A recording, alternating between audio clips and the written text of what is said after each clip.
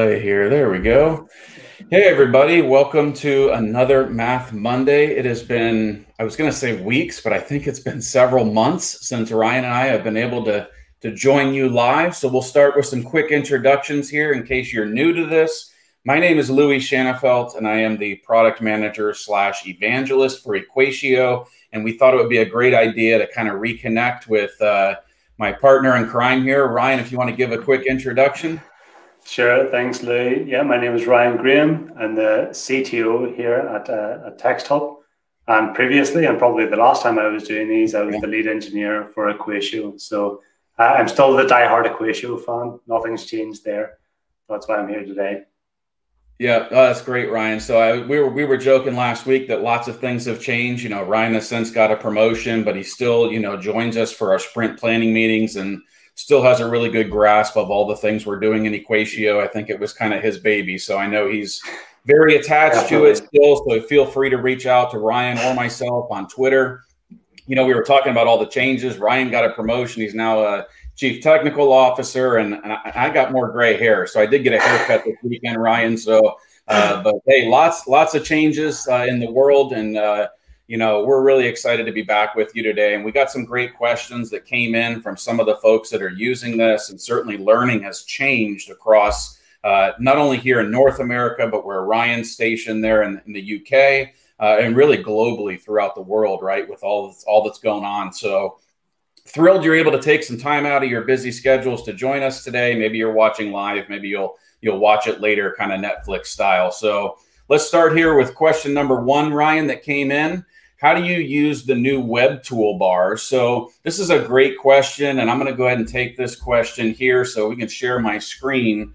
You should be able to see, and what I thought I would do here is kind of start with something that I actually shared uh, with our sales team, and that is, if you recall, uh, several months ago, we had really just an abbreviated toolbar. So think about the ways in which you would have tried to open and use Equatio in Jamboard, for example this was something that I know Ryan and I had seen come in probably over the course of 18 months. Hey, when can we get some math in Jamboard? You know, it's a great collaborative tool, especially with hybrid and remote learning. And when users used to be able to click on Equatio, it would really just open this abbreviated window. So we had our screenshot reader, our discovery tool, and our STEM tools. So we recognized that the abbreviated toolbar didn't really allow for math content creation. So what we wanted to do is go from, hey, the old way to the new way. So notice here in a jam, live in a jam, when you click on Equatio, you'll get a full web toolbar down at the bottom. So I'll go ahead and demo this for you here today live, but I wanted to show you that slide to kind of remind you where we've gone with it and to where we're headed. So when we look at Google Jamboard today, we go to jamboard.google.com or thereabouts. You might have this favorited if you use this a lot. So we open up a brand new jam, go ahead and give it a title. You got some of your tools over here for annotations. And when you click on Equatio, you no longer get that abbreviated bar that I just showed in the upper right hand corner. You now get this full web toolbar down here at the bottom. So really great because our users can use the web toolbar to create content. I still get this all the time, Ryan. Like people are going, you know, hey, what's this button? Where'd that come from? So that I think they really probably just maybe didn't understand it in the former toolbar. But the discoverability button, just real quick for everybody, mine's toggled on. Notice it's lit up blue. And when I click on it, it goes, you know, grayed out, right? So what this does, is it actually finds math on your websites. So just know that the discoverability button, because we no longer have the toolbar up here, we've moved it down into the bottom of the web toolbar because users can use this to find math on websites and commonly used places. So let's take a quick look. We can open the web toolbar. And when we do this, we can just type in a basic algebra, algebraic expression. So something simple like this and we can do something like this. And we can make obviously multiple lines of math. You can drag this up if you need more space. Um, but really what you do is once you click in the jam you need to put your focus here in the jam. And when i click here we we should see that you know there's no place there's no box there's no focus with our mouse actually in a jam. So what it's going to do, it's going to insert into the jam at the same place, but then you're going to have the freedom and flexibility to move this wherever you want. You're going to use the copy math as button.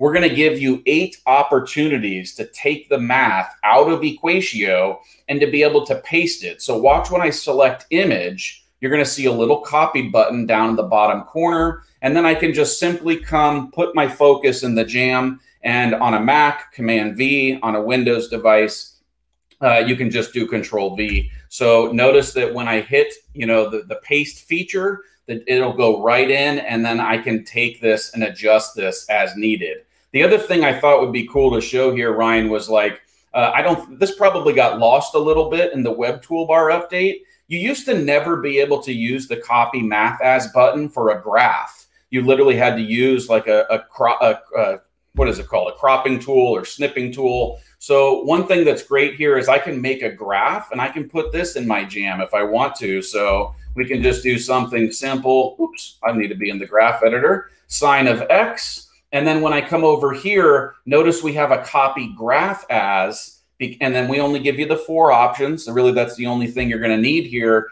Grab the image. I can collapse this and I can easily come over and paste graphs into a jam also.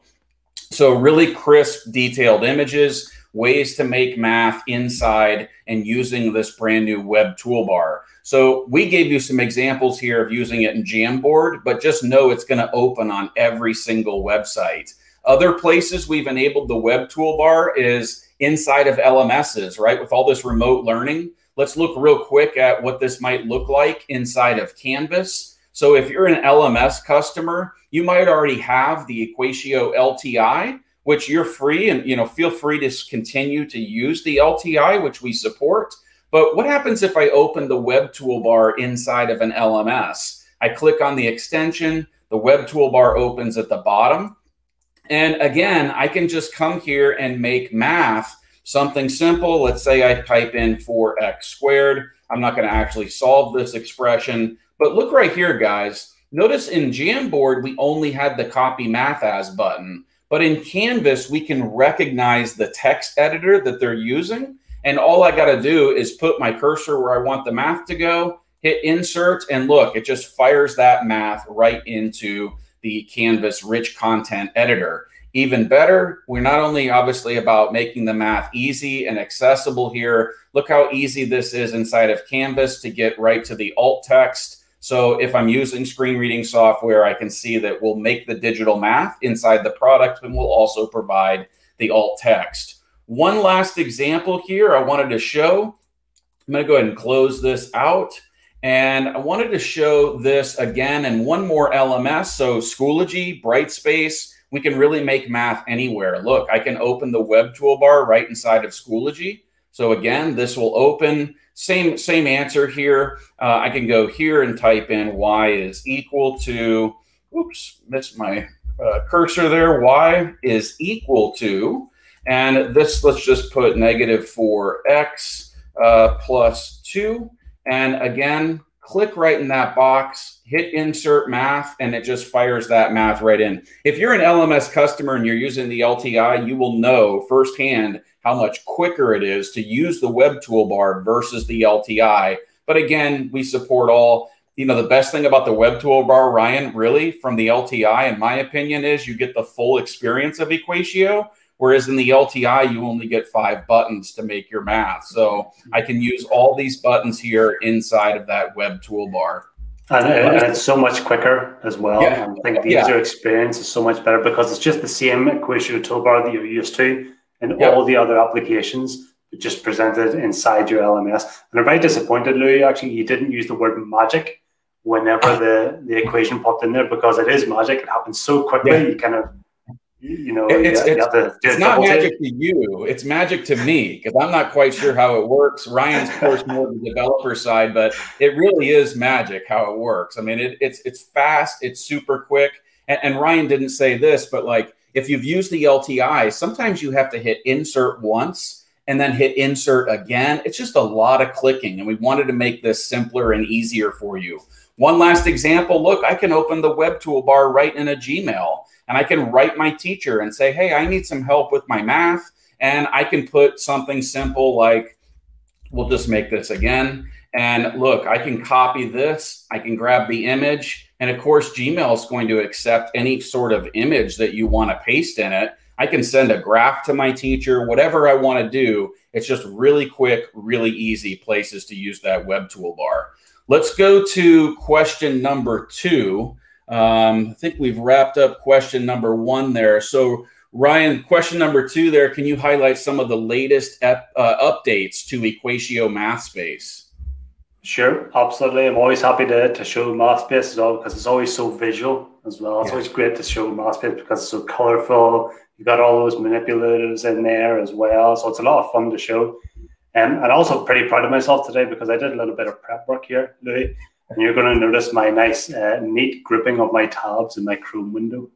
Right. Um, so hopefully I can share my screen. Yep, you're good. See, top left, isn't that good? Assignments. And I've got my teacher view, my student view, so I know exactly where I'm going.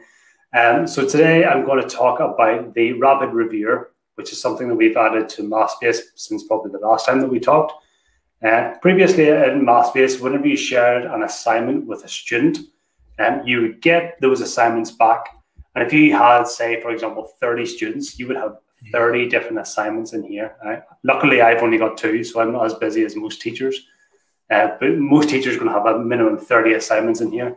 And they used to have to click on the first assignment, go and right. score it, give the, the student a grade, close the tab, go to the next assignment, give the student a grade, and so on. So on. If you do that 30 times, that is a lot of clicking. That's right. a lot of consumed time. So what we did is we introduced the, the rapid reviewer. So if I go to my nicely labeled uh, teacher tab, this is what our rapid reviewer looks like. So I asked Louis um, earlier on to go and count up to five pounds using the coins provided. And obviously this this confused um, an American without the concept of, of pounds and pound coins. But essentially, five dollars, five uh, five pounds, same basic thing. Not monetary value, obviously. Right. And um, so Louis has submitted this assignment to me. I can have a look at this and um, do my use my usual tools and say, um, yeah, great, well done, and I can give him a score out of hundred. Let's say you got eighty on that one, Louis. Uh, real work. Okay, so instead of me just you know closing out of the tab and then having to click on the next assignment, what I can do is I can click send feedback, and I will send the feedback directly to Louis. He'll get the notification on his screen, and as soon as I click on that send feedback button, it moves me to the next student. Mm-hmm. The next student being myself, um, and I haven't actually submitted a response to this. But if you picture Louis, say I've got 30 students, all I need to do is t- hit that send feedback button and it loads the next MathSpace. And then I can quickly go, yeah, great, leave in some feedback, send feedback, and it loads the next MathSpace again. Um, and I can't remember the exact figures, but Lou, you did a little bit of research on this before, didn't you? Yeah. Just to time the, the difference in it. Do you remember oh, yeah, yeah. what, it, was before and afterwards? I, I did. I, I, did some uh, some little analytics here, being the math guy that I am, and I thought, I wonder how much time this actually saves people. And it came out to just about just under sixty six percent. So it's two thirds teacher time because as Ryan stated, now that you have the rapid reviewer, you don't have to return to the dashboard. You can just access all of these quickly. And as Ryan said, hit send feedback goes right to the next student. Hit goes right to the next student. So it's really fast. And we wanted to do this work for you to save you teacher time. Yeah, absolutely. Another cool thing you do as well, if you've got say 30 students and only 15 of them have submitted an assignment, you can click on this little button up here and that will show you all your students and you can jump to a, a specific one and jump back. So you don't always have to go sequentially. You can say, oh, you know, maybe I'll grade five today and I'll do another five tomorrow. So you can jump to individual students as well on the list. Um, I think that's super valuable, something that really saves teachers time. Uh, I can obviously help them get the student feedback back to the student in a timely manner as well, right. which is really important, obviously, for right. students, especially with remote learning as well. So rapid review, I think that's brilliant. I think that's a real great helpful tool. And um, there's two other things as well I want to talk about, and they're both inside MathSpace as well, but they're from the student side of things. Um, so, and again, much like Jamboard, Louis, anytime we talk about MathSpace, there are two things that teachers always asked us for, and that was infinite cloning and mm-hmm. locking of objects. Right. Uh, and whenever I show this, you'll see why people keep asking for it as well, because it is so useful. So, taking that exact same assignment, I'm going to go into the student view. And this is what it looks like whenever I've been assigned this math MathSpace as a student. So count up to five pounds using the coins provided. So I've got my one pence, two pence, and five pence, Louis. That's what those coins are. and the other two are 10 pence and 20 pence. But you'll see, maybe you can make that out of my screen, there's a locked object on the 10 pence. That means as a teacher, I have went in and said students cannot move that around. So you could use the locked objects for things like questions or you know, sort of structural elements, like say you've put a table in there and you don't want the student to move the table, you could set that as a locked object. And then I, as a student, can click on this. I can try and drag it, but it won't go anywhere because it's locked. The good thing about this as well, even though I have, you know, locked it as a teacher, the student can still use the speech tool, so they can still hear what that that object is, and they still get to understand what it's there for but they just can't manipulate it. Um, that's that's really useful, especially whenever you're doing you know sort of complex assignments. You've got lots of moving parts. I know your assignments, Lou, are always more complicated than mine are, and I'm sure you probably use this an awful lot more than I do. Yeah, uh, I think that's a really really useful tool in the in the teacher arsenal. And as I mentioned before, the second thing I want to talk about is the infinite cloner. Um, Coins, especially, this works really well with. So you'll notice this icon on the 20 pence is slightly different. This is an infinite cloner object. And that means if I click on this object and drag it around the math space, it doesn't move the object, it creates a copy of it. So if I click the 20 pence and drag, it creates another 20 pence coin. And I can do that again and again and again for, you might have guessed it, an infinite amount of times. And really, really good and really helpful whenever you're counting things like money because then students can physically see that movement. And that's really important for them to, to understand the concept of, of taking it from A to B and also then to count as they go along as well. And once you take a copy of that object, then the student can change it, manipulate it, move it around. Um, of course, we still have our, our text to speech in there as well. So they get that exact copy of that object an infinite amount of times. And unfortunately, again, I am not a math teacher, so my my knowledge of about how to use these things is very linear. It made sense to me for coins, but I'm sure there are probably teachers out there who can think of, you know, infinite amount of ways to use yeah. that cloner as well. Yeah. And uh, that's another thing me and Louis really love seeing how teachers are using this in their classroom. So if you're using this in your classroom, you've got a really good idea, uh, or you've got a really good assignment, share it with uh, Louis and myself on Twitter because that's we, we love to get that feedback and we love to see how this is actually put to practice in in the real world. Right.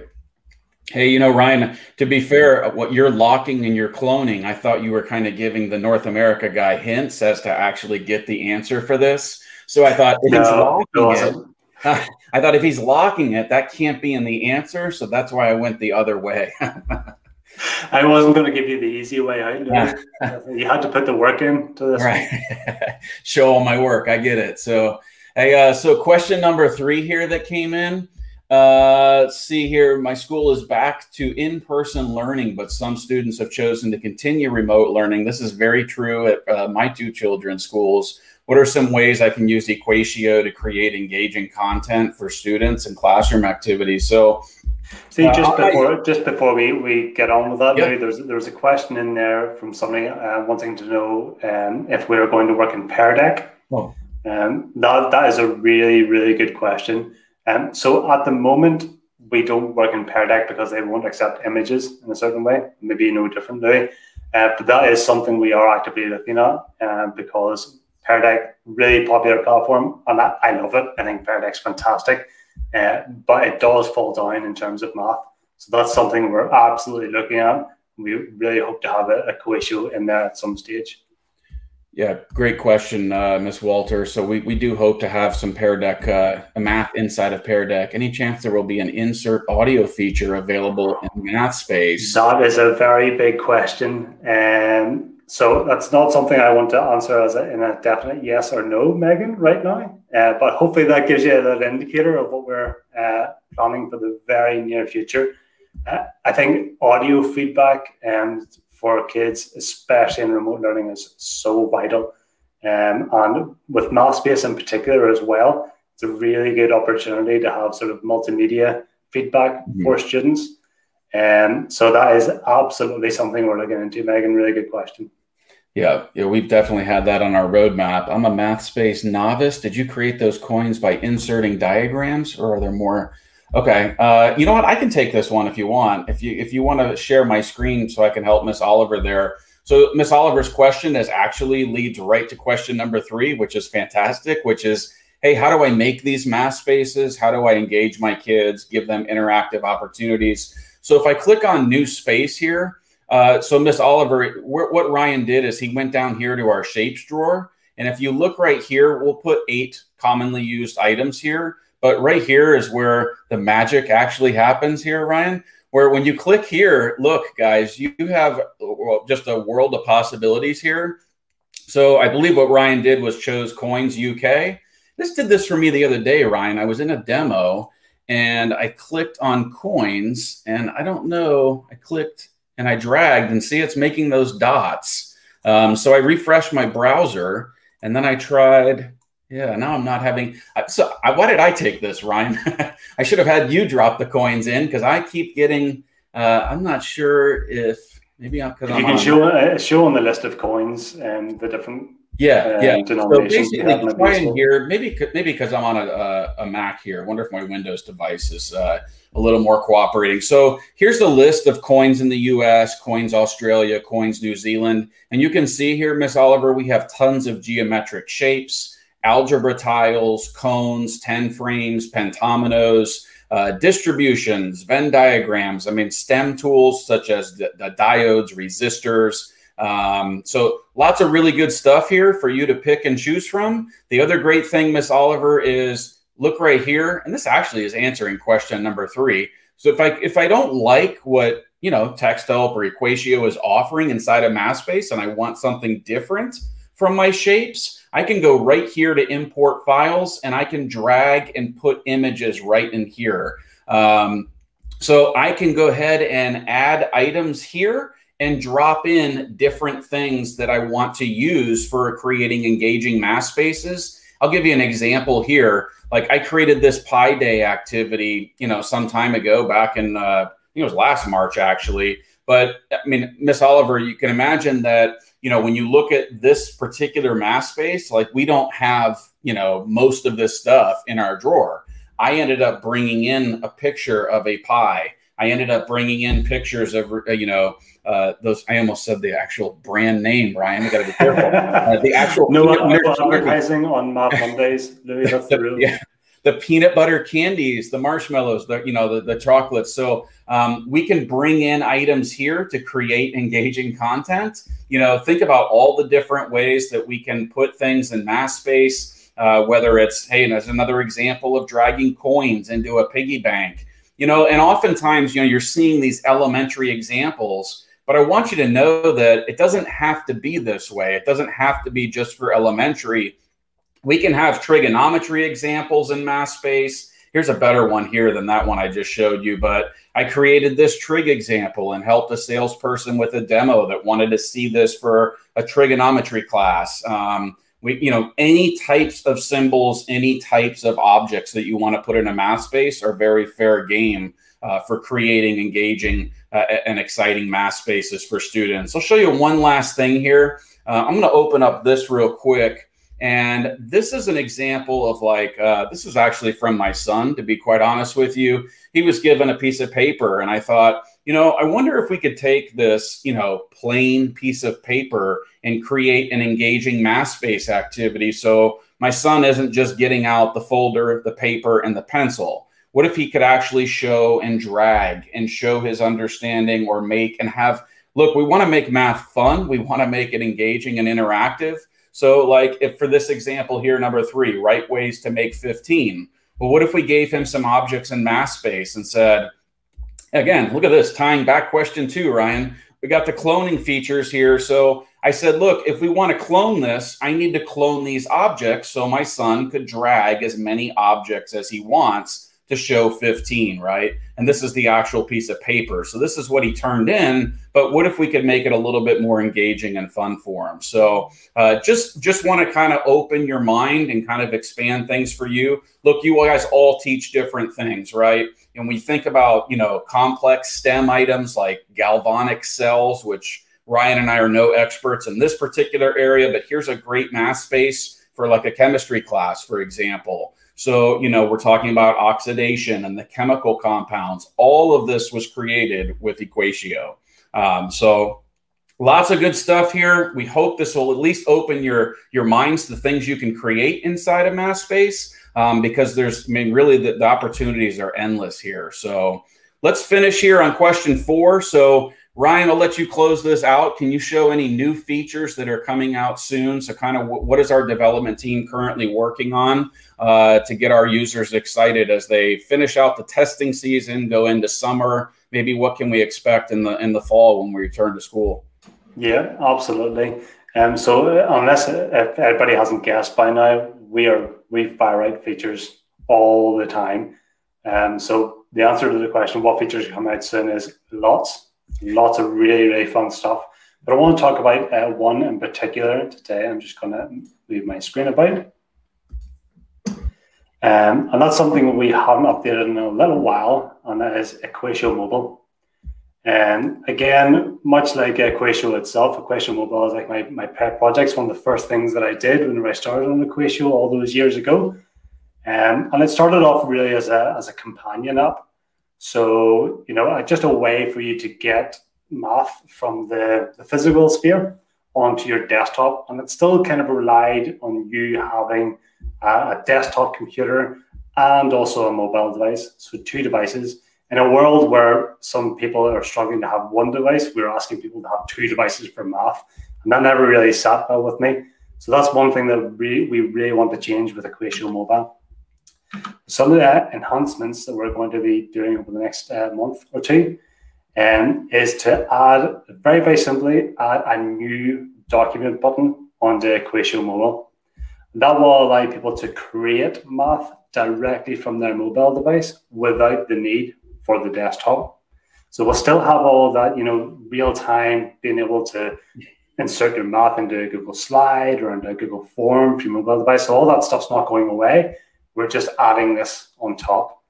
Um, and so if you're not familiar with Equatio Mobile, uh, you can use your mobile device to take a picture of a photo and it will then transform that photo into digitally accessible math, which you can then use to share on different platforms, uh, different apps, in just the exact same way uh, Louis was showing you with the web toolbar earlier on.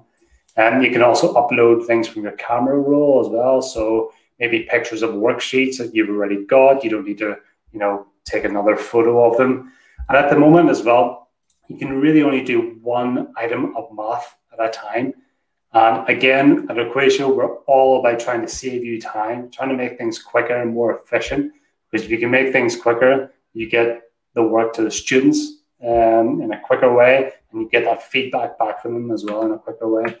So what we want to do is instead of telling you to crop each individual image, we're going to allow you just to take a picture of an entire worksheet and make that into a digital accessible document with all the, the good stuff as well that Equatio does along with it, with the, the spoken text um, and, you know, the nice crisp, clear lettering that you get as well with Equatio. Um, so on Equatio Mobile, once you create a new document, we're then going to allow you just to save that to your mobile device, and then you can share that with any apps that are on your mobile. So you're you're not tied to having to have a desktop. You're not tied to having to be signed in with a Google account in two different places and all the complexities around that. Um, and we're also going to take this opportunity as well to do a little bit of a, a, a UI refresh on this and bring it into into 2021, past 2020, thankfully, um, and uh, just sort of you know put a little bit of sheen on it as well. I think. Yeah, that's that's really really great, Ryan. I've seen some some early early uh, uh, you know demos of this, and I think it's really really going to help users to be able to not just simply take a box and and just scan one problem, but to be able to take an entire document. So really excited for for what the potential is for Equatio Mobile. And I'm going to be completely honest here, Ryan. I remember when I first saw mobile for the first time ever that I, I, definitely use the word magic. I'm like, how do you do that? How do you how do you take a picture of something and then like magically send it over to the Google Doc? But really, mobile for everyone, just so you know, is really for those teachers that are looking a to take that handwritten math, make it accessible, so we can OCR that math and send it into a digital document. But the other great thing is, is you don't have to OCR it. You can just take the image and that way, kids can still submit electronically their handwritten math uh, if you want to see the student handwriting. So uh, that's going to do it for today. I don't see any other questions. So again, on behalf of Ryan and myself, it's really a, a, great opportunity. I don't see Ryan nearly as much as I used to, so it's good to catch up with him and have a. You're welcome for that, Lou. You're welcome. no, no, I, I, miss you, man. So uh, we'll have to do this again sometime down the road. Uh, you know, we really appreciate you guys joining us live. And then those of you that want to follow us uh, or reach out to us via Twitter or reach out to Texthelp uh, at Texthelp on Twitter, uh, certainly we can get those messages uh, funneled down to us if you can't find us individually. So we are here to help you guys. We hope you enjoy the rest of your spring here. Uh, and most importantly, I think everyone's looking forward to a great summer. So keep in touch. If you have questions, like we said, don't hesitate to reach out. So have yourself yep. a great rest of the day. Take care. Great fun. Thanks, everybody. Yep. Thanks, Ryan. Bye.